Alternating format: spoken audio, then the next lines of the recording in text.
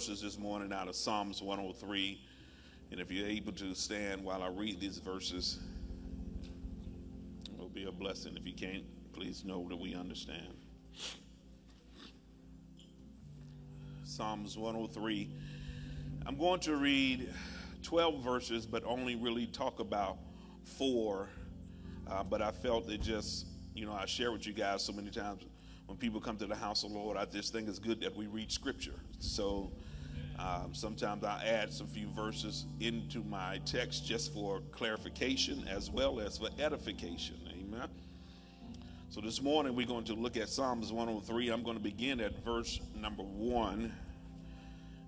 And um, to give, if you saw me stream live this morning from on Facebook, you heard me say that it's going to take about a month for us to get everything back running so that we're streaming live and all of that good stuff. Uh, I want to encourage you to encourage your brothers and sisters to be in the house of the Lord and come out and receive the word. We're still worshiping. We're thankful that we still have great sound and we still have a building that's standing and lights. And so we can have church. Amen. We just can't stream right now. And like I said on Tuesday, I was preaching before there was screens, and so I can preach without the screens. Uh, I want to, uh, if you, I know some of you didn't make Tuesday night, but those that was here, man, let's thank the Lord for Vicky. She shared a great word on Tuesday night. And, and I really want y'all to help me celebrate Anthony George cousin who drove up from Gainesville today to have service with us. He drove from Gainesville, right? He beat Anthony here, so I'm just, that's all I'm going to say. That's all I'm going to say. I love him, but I said he drove from another city and he beat you here. No, I'm just playing. Uh, Destiny and her boyfriend are here hanging out from college. I love Destiny. And uh, and Calvin looked like he has his grandchildren and, and, and some of his family with him. Some y'all, right? Let's thank the Lord for Calvin and his family.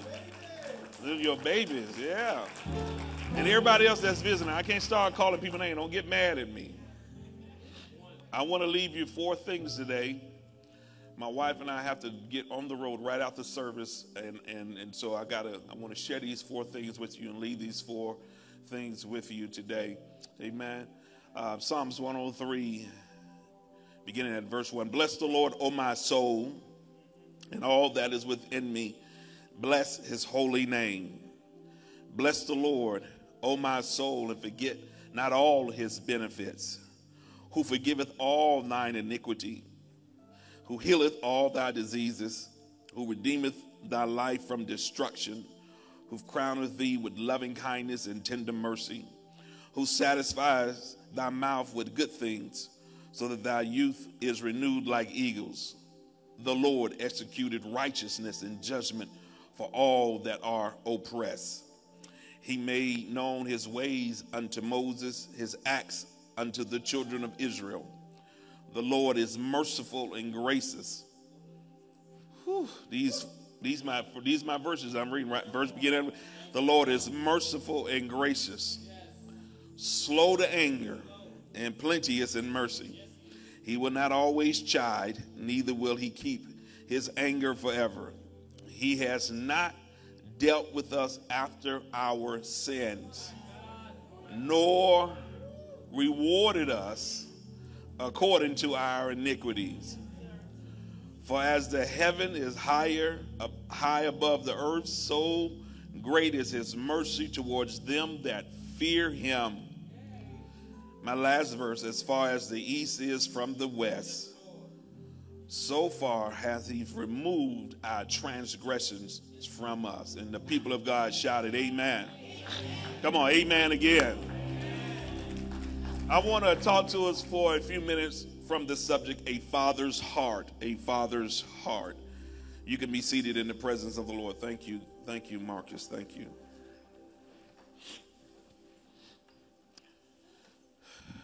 Throughout the past few weeks, I have um, engaged in conversations with other believers, uh, with other pastors, uh, and with others who, who, who named the name of Christ as their Lord.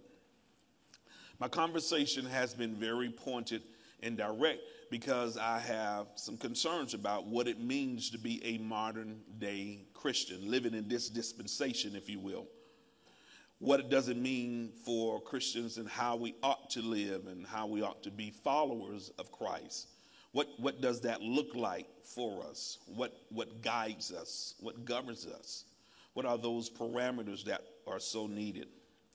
In one of my conversations with uh, during this past week, I was reminded about an example that I used some time ago. I can't even remember when, but when he, when he spoke it to me, Elder Ricky spoke it to me, it just it it just brought back such memories. I remember talking about there was this pastor who had a glass that was filled with water, and the pastor set up all kinds of obstacles, if you will, in front of the person who had the glass of water, who was holding the glass of water the person was on one end, they had obstacles, and then they had a finish line, if you will, that they had to get to. In order for them to make sure that they do not spill any of the water, the individual had to focus on the glass and not on the obstacles. And so that, that, that very saying began to just bring life to me. It, be, it began to help me to process why I begin to have concerns in the first place. Because the Bible teaches us that we ought to keep our eyes on Jesus and on God. But sometimes, if we'll be honest, it's, it's hard not to see others. It's hard not to see others and how they are living and what they are doing. But I can I begin to think about how much I consider myself, and this might just be me, I consider myself to be a biblicist, a man who lives and governs his life according to the scriptures. I, I know that everybody are in, they are in different places with this, but I really, um, standing today, try to govern my life according to the scriptures. And when you are called to be a preacher of righteousness, watch me, sometimes we can try to impose our convictions on others. We can try to make people see things and try to make people line up and live according to something. And whenever this happens, we need to be reminded, as I was this past week, I was reminded that my focus needs to be on God and not necessarily on what other people are doing. Stay focused on what God has called you to do. This also is seen in the scriptures when we see the prophet Elijah who is struggling in his own walk, in his assignment. He has just um, slaughtered 450 prophets of Baal, and Elijah finds himself running from Jezebel in, in the wilderness and wants to commit suicide. According to the text, he wants to commit suicide. He's tired of this. And we find in 1 Kings 19 and 14 these words that Elijah cries out to God. And I want you to really pay attention to the verbiage of the first sentence. He, he says, I have been very jealous for the Lord God of hosts. Listen to that. Because the children of Israel have forsaken thy covenant. They've thrown down thine altars and slain thy prophets with the sword. Watch, watch his complaint. I, even I, only am left and they seek my life to take it away also. And if you read the text, and you can read it later on at your leisure, you will begin to see how God, in his love, corrects his son. He corrects Elijah, he corrects him. He, he says, Listen, listen, son, I, I got 7,000 folk who've never bowed their knee to Baal nor kissed at him. In other words, I'm good. You need to stay focused on what I've called you to do.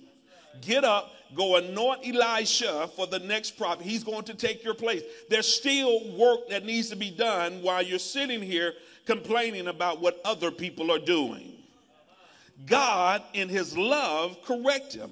And correction is a part of the love that the Father has for us. Listen to Hebrews, the 12th chapter, verse number 6 from the New Living. It says, For the Lord disciplines those he loves, and he punishes each one he accepts as child as you endure this divine discipline. I love the way the New Living puts that. This divine discipline. Remember that God is treating you as his own children.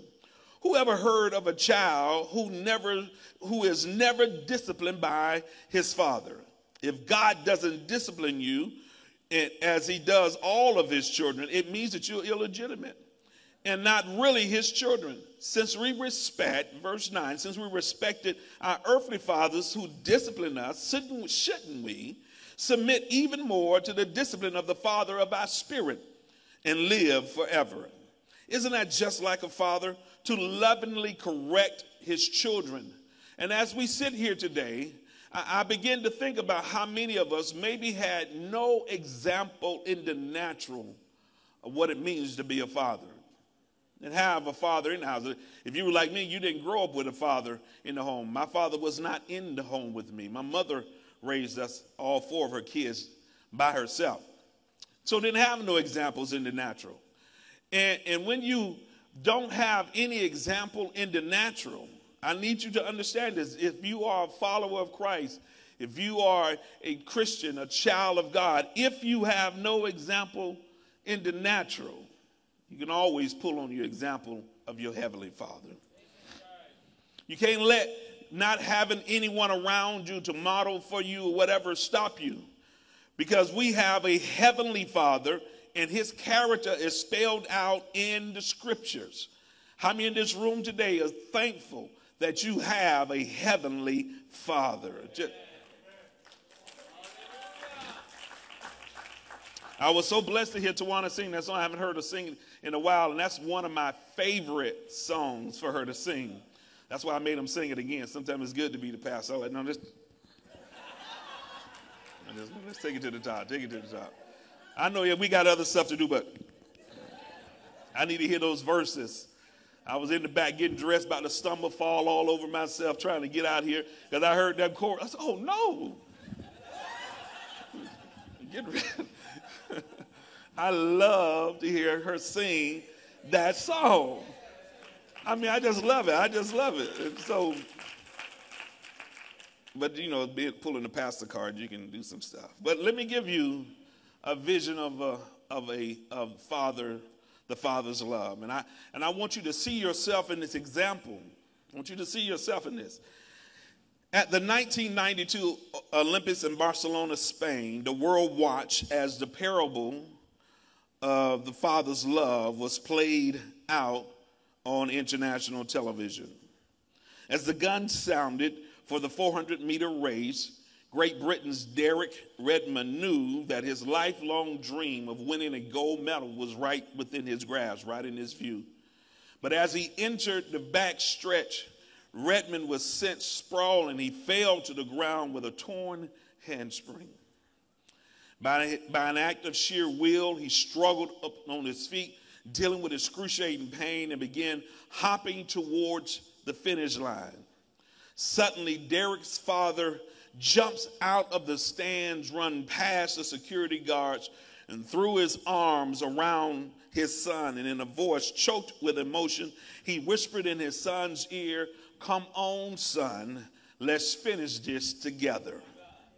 The crowd cheered. People watched as the father carried his wounded son down the final stretch and across the finish line. This, my brothers and sisters, is a great example of the father's love for us. I know that I am not the only one in this room with testimonies of those times in your life where pain has stopped you, hit you, struck you, something has happened, and then out of nowhere, your father who loves you dearly crosses through stands and security, doesn't care. He breaks through barriers. Come on, y'all playing with it. He breaks through barriers to come and rescue you and say, Come on. And I want to say it in the voice of the Father today, and I need you to praise Him for it. Come on, let's finish this together. Come on, let's let's let's press on. I know you got some problems. I know you got some issues. I'm gonna preach over here. I know things don't look great. I know it's challenging. For, I'm gonna go over here, and I know you don't understand some stuff. But is there anybody else besides me that's grateful that God will come alongside of you and help you to finish together?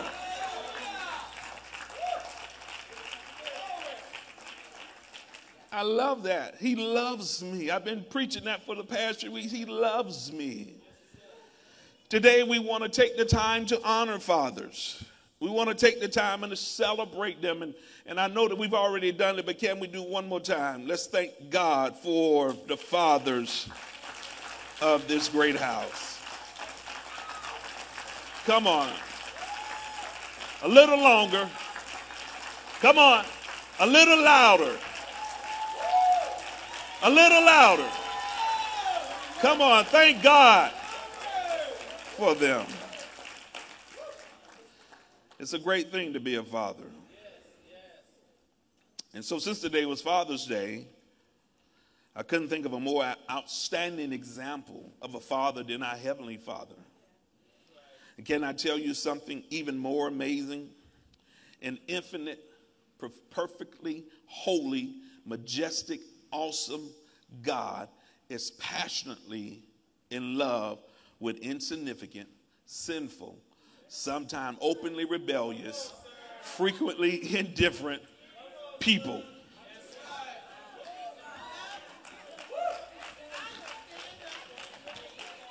Okay, I, know some of y'all missed that, so I'm going to say it again. I want to tell you one more amazing thing. And if I hit you, just go ahead and shout. An infinite, perfectly holy, majestic, awesome God is passionately in love with insignificant, sinful, sometimes openly rebellious, frequently indifferent people.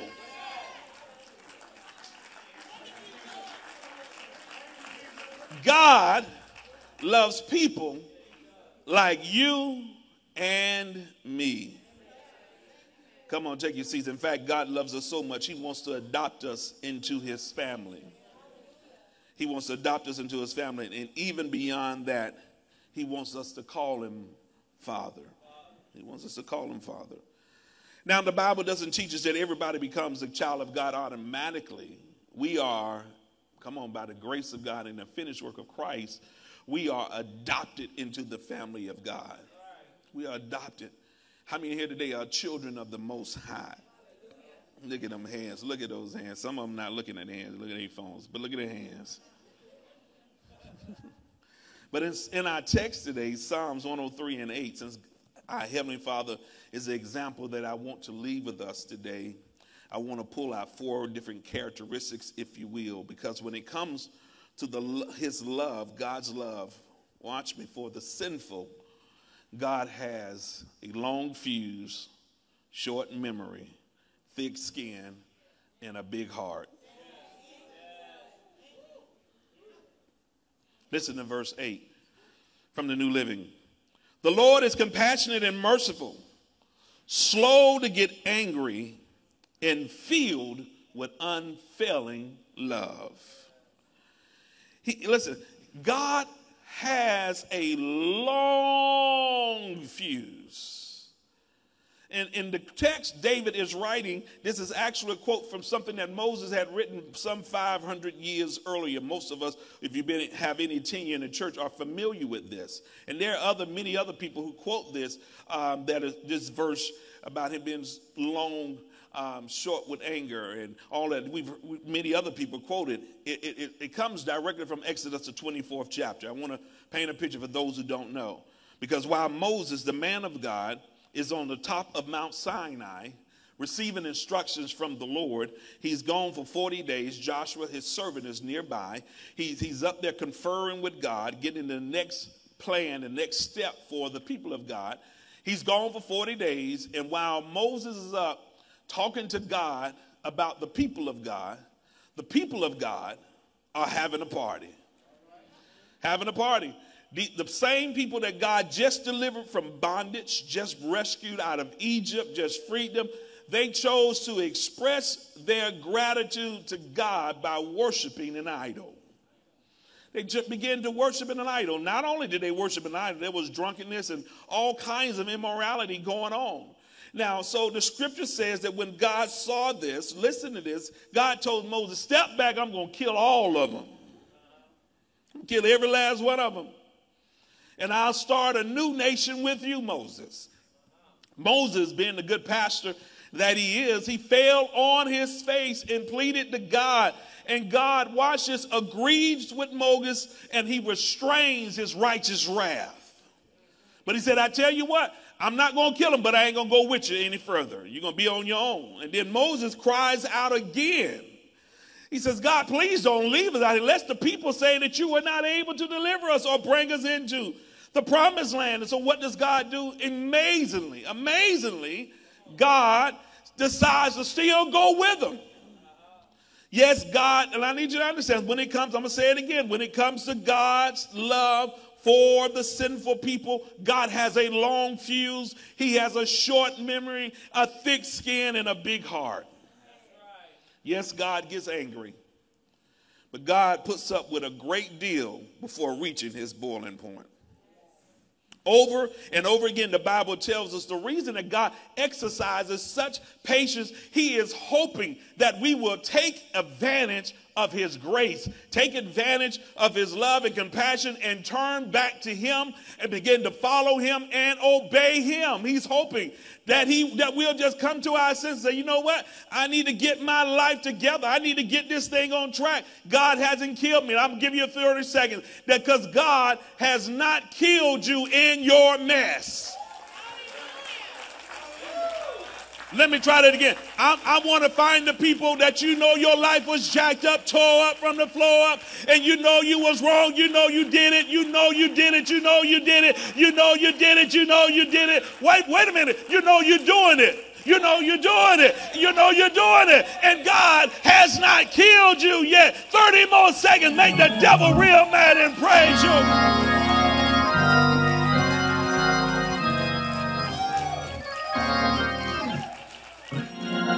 God didn't kill you for what you did last night.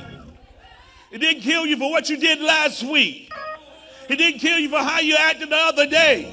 And if you're in the house of the Lord, you ain't got to sit down and look pretty. Don't you worry about nobody else. You got to stand for God for yourself. Don't worry about nobody else. If the Lord has ever extended his mercy towards you, here's your opportunity. Make a joyful noise and bless his holy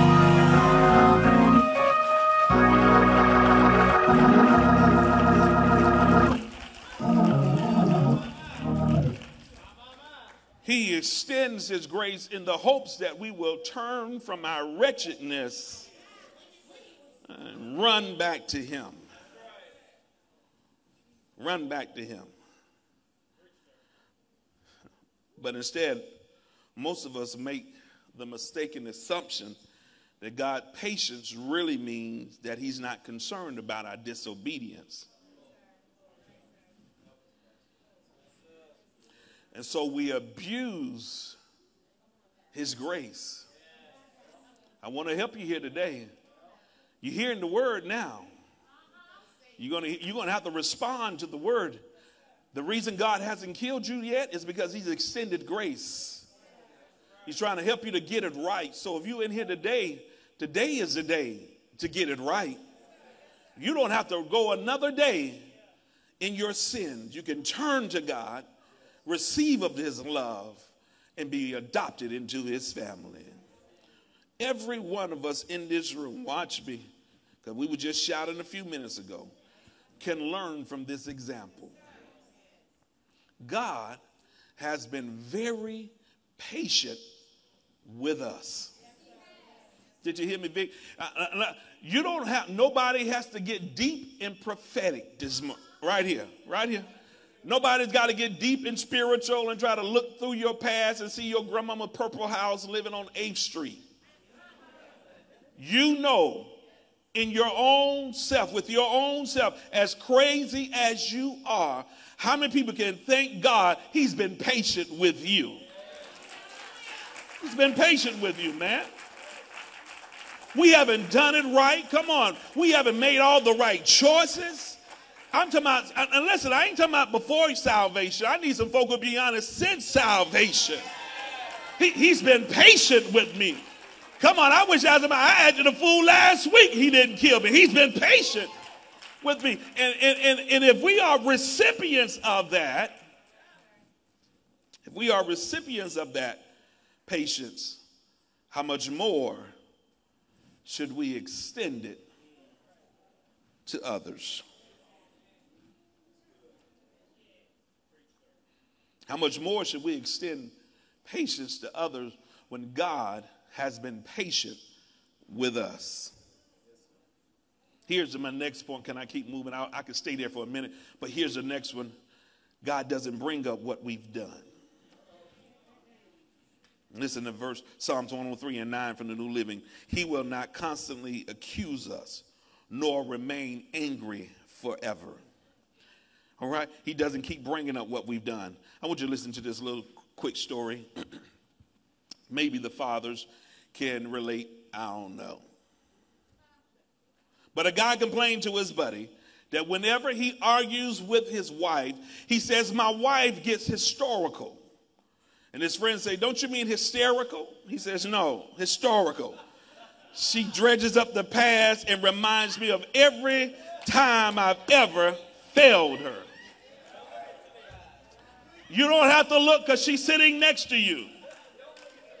Maybe your wife gets a little historical whenever you mess up. I,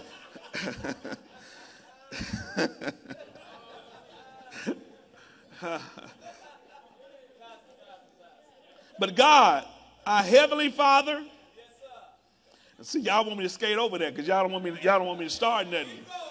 Just keep moving. Don't start talking. Well, you know, you did this last year. You did this last week. Yeah. So, but how many in here grateful that God chooses to have a short memory?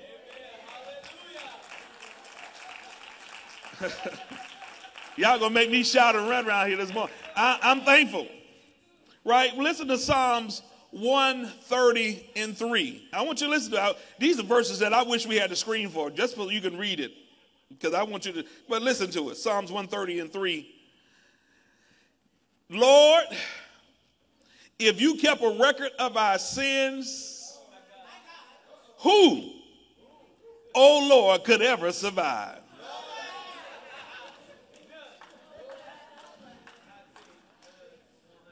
If the Lord kept a record of all of your sins, who in this room would ever survive?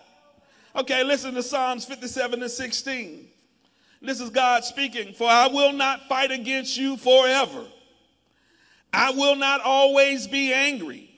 If I were, if I were, all the people would pass away and all, all the souls that I have made. He, he, he, listen to this. God says, if I keep throwing up into your face all of your past failures, if I choose to retain an angry disposition towards you because of your sins, your spirit within you would just grow faint before me and you would wither up and just die. Do you hear this? I, God says, if I keep telling you about that hole you slept with again and again and again and again, and all the times you drunk and all the times you lied and all the times you did manipulated and all the times you did all of this stuff, your soul would just get weak. And I'm going to tell you right now, it's a great place to thank the Lord that He has a short memory.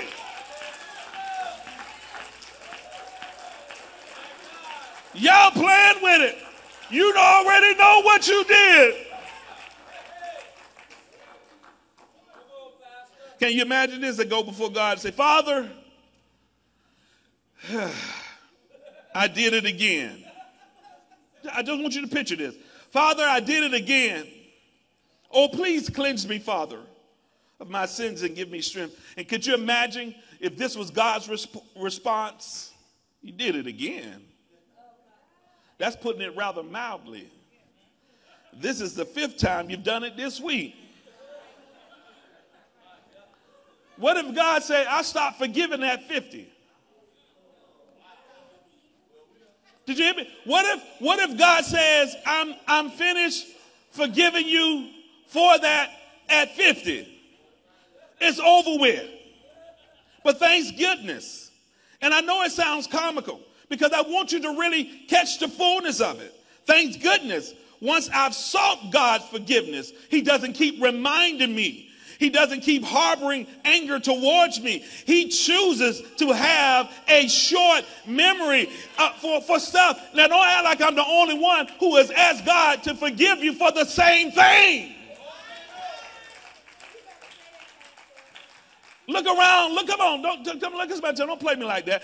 that, that there are so many of us in here today who can thank God that He's forgiven us for the same thing. You keep falling in it. You keep messing over. You keep dropping the ball. But how many here grateful today that God has a short memory and that He doesn't throw it back up in your face? He doesn't say you did that last year. He doesn't say you did that last week. He doesn't say that you just did it last night. If you are faithful and just to confess your sin, the Bible says God will forgive you. So don't tell me. I'm going to preach to E. Don't tell me we don't need this example. Because when people do us wrong, one time, we, yeah, every time we going to cut them off. Watch me. Yeah, I'm going to go over here and talk to Shawana. I don't think he might, he might be off right. if, if, if, if God, if people do us wrong one time, we may give them a little grace. But if it happens again,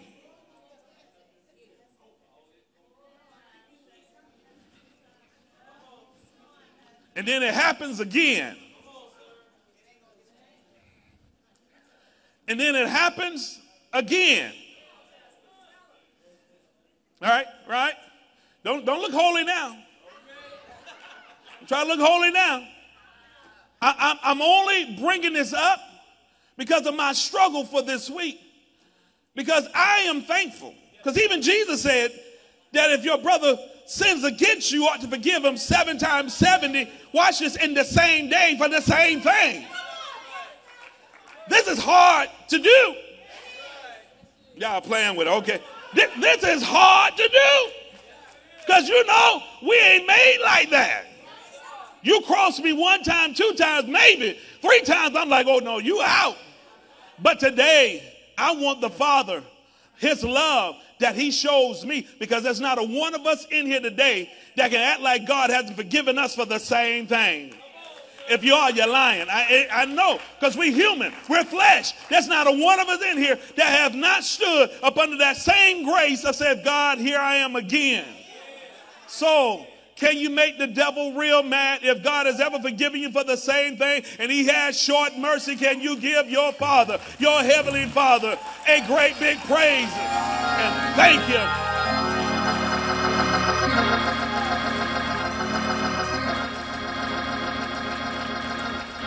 The same thing. Yeah.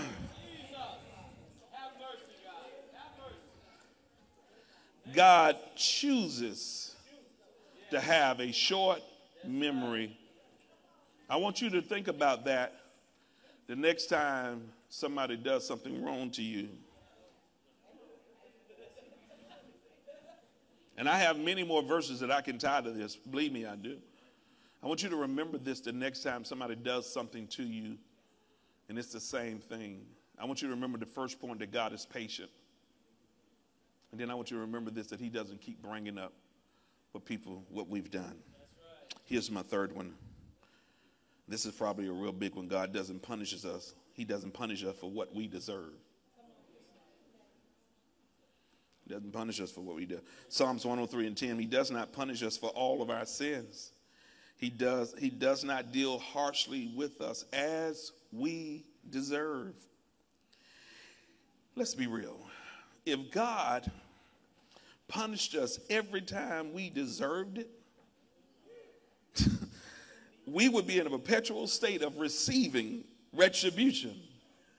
It'd be like, bam, yes, Father, bam, bam, every time. Because we are but flesh.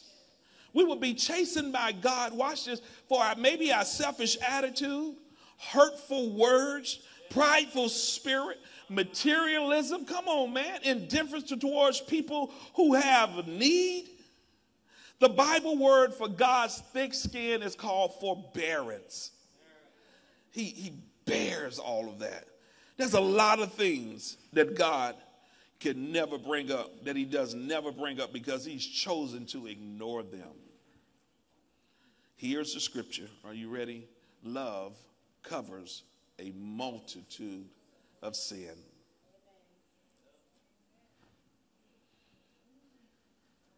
Scripture says that God doesn't always treat us as our sins deserve. He doesn't give us what we think. You know, He doesn't give us what we deserve, rather. And for that, we ought to always be grateful. People often ask me, How do I just love people? Because the reason I just love people because I think about how God loves me. God has a long fuse, short memory, and he has thick skin. How many in this room know we need to learn how to have some forbearance in our life? The enemy works in all of this stuff to destroy us and to try to deceive us.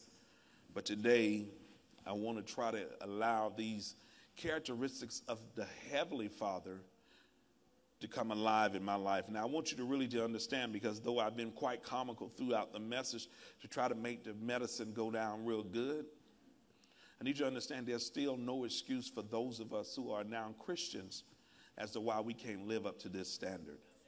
Because of Christ, what the finished work of Christ states to us that we are now have power. The Holy Spirit. Ephesians 3 said that we ought to be strengthened in the inner man some of us feel like we can't forgive for the same thing over and over and over again. But I'm grateful. If you trust in the Father, God will walk you through that. Here's my fourth one, and then I'm almost done. God doesn't remember what we've done. See, Psalms 103 and 11 says, For his unfailing love towards us, those who fear him, is great as the height of the heaven above the earth.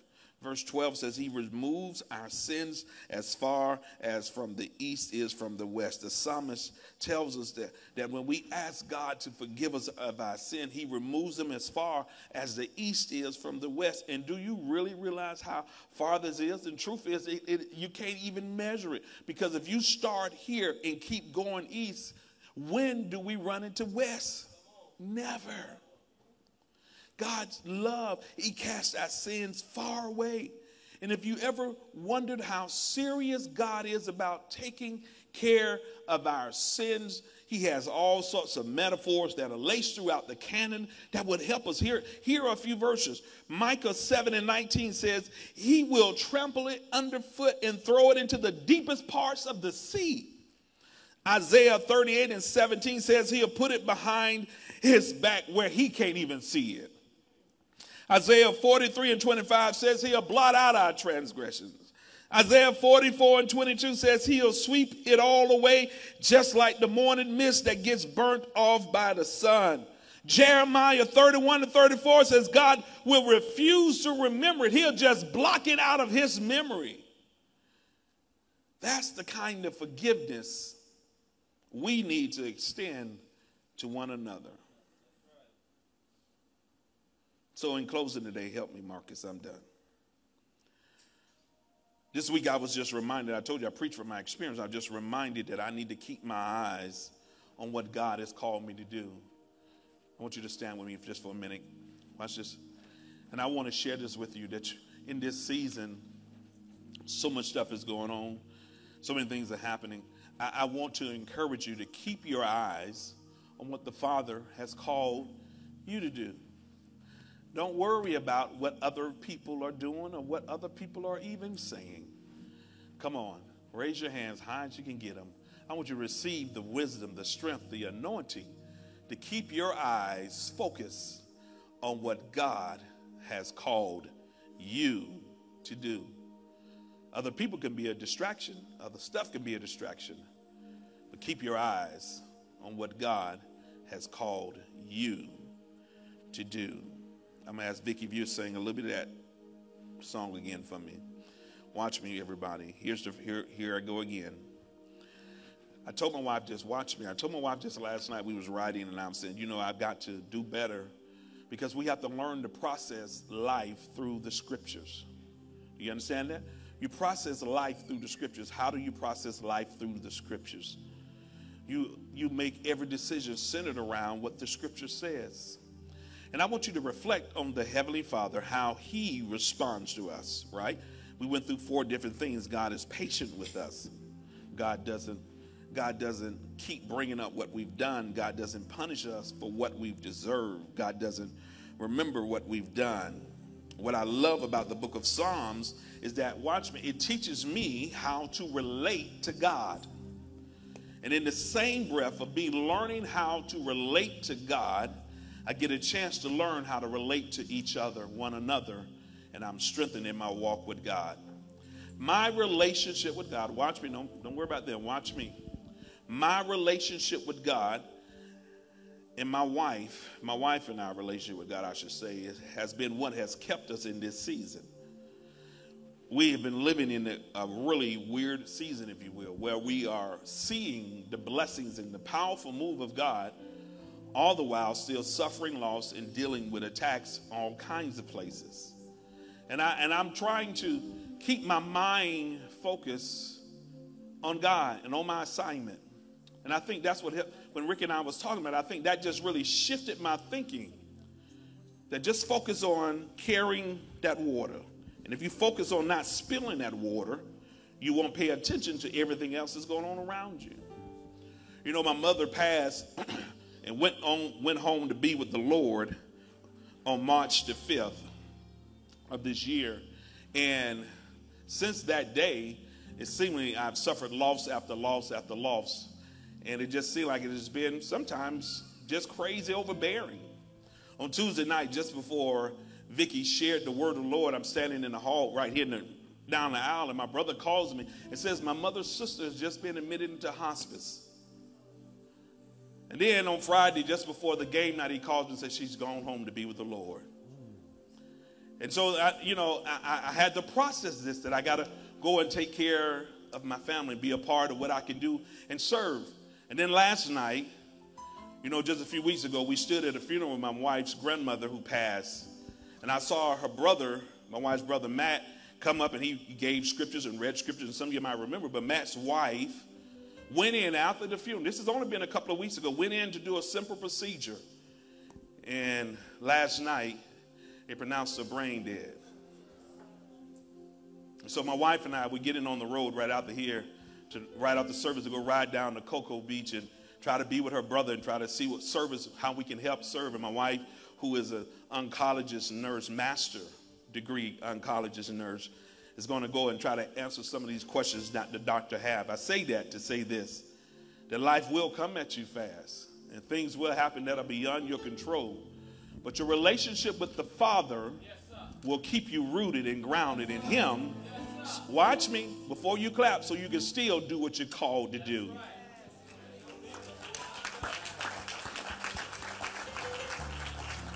Still do what you're called to do.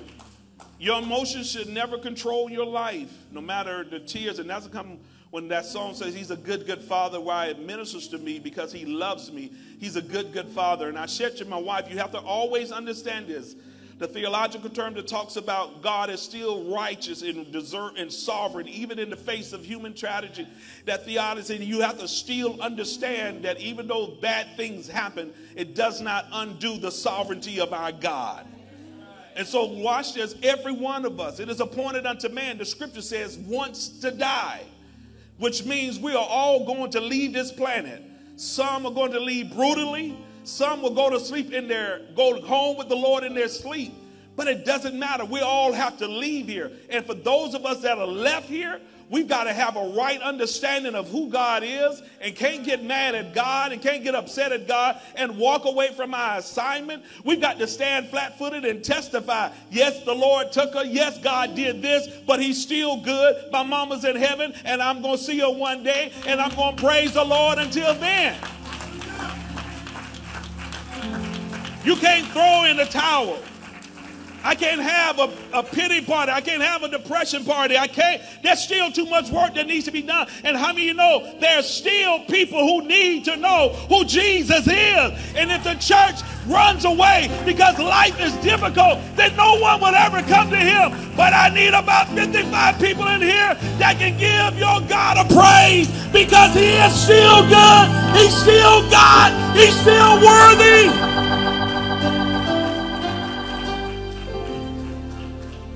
Nothing else. Nothing else. Nothing else would do. Nothing else would do. Nothing else. Come on, just a little bit of this. Come on. I just want you and nothing else. Nothing else. And nothing else.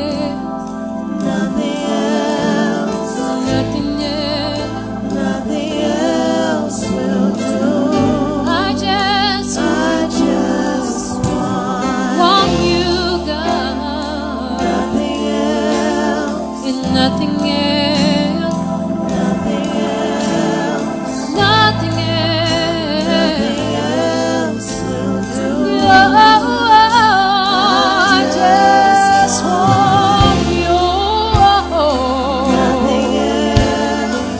Nothing else. Nothing else. Nothing else. Oh, oh, oh, oh